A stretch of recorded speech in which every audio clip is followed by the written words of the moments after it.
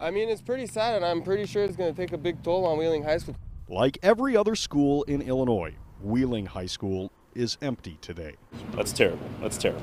But the community is filled with sadness. Didn't even get a chance. 16 year old sophomore Zach Leviton died last week after reportedly becoming sick last month and being placed on a ventilator. Several tributes to his life were posted on social media. Shocked friends wrote, My heart breaks. None of us can believe this is real. They described him as a sweet, polite young man with the biggest smile, who had contagious laughter and was a great friend who will be missed.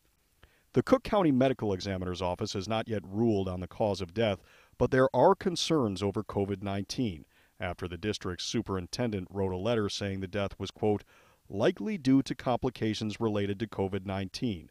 In addition, we have at least one additional student who is in the intensive care unit due to COVID 19. Brings it right home. I live right over there, so it's like crazy to see. Elijah Millette, a recent Wheeling High School graduate, called the death of such a young person shocking. That's pretty crazy. I never knew that like COVID-19 affects people that young. So I mean, at 16 to be dying from something, that's at least unheard of from my perspective. And Zach Leviton's friends have taken to social media with an online fundraiser. They want to buy a bench that would serve as a memorial to his life.